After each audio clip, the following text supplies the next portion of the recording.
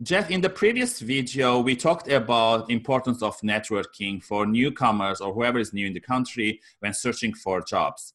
And I don't want, I, I just want to ask you in that sense, what tips you have for people in terms of networking, and especially if newcomers are not used to networking in their country?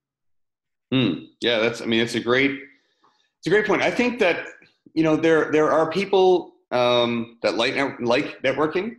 There are people that uh, don't like networking, but they do it, and there are people that don't like networking and they don't do it. so, I think the hardest one is the second one. The hardest one is to be someone that doesn't really like networking, but you kind of need to do it if you're if you're going to go find uh, work and make connections.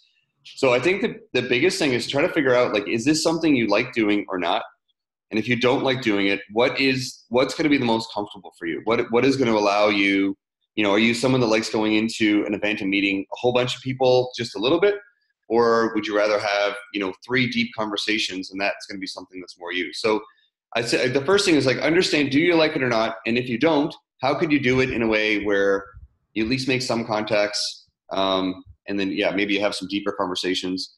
But I think I, I believe that most people in Vancouver, and I'd like to get your, you know, maybe you got your experience here too. Like my my story about this is that I, I do think people like helping.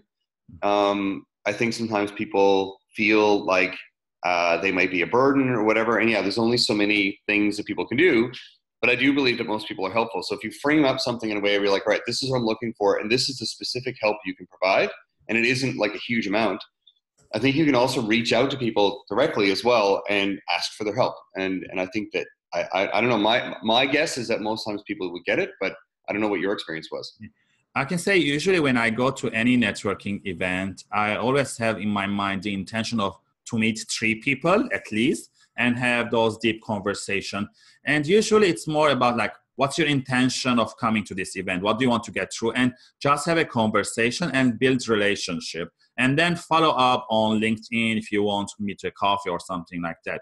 But i always say that don't go to a networking event with the mindset that i need to ask for a job because right. uh, i feel that that's not it's not a good way to start a relationship. Just you know in general introduce yourself and have a build a relationship. Especially in vancouver it's all about building relationship and who you know in the market that's what you you, you it will help you find the job. Yep. Yeah totally. Yeah.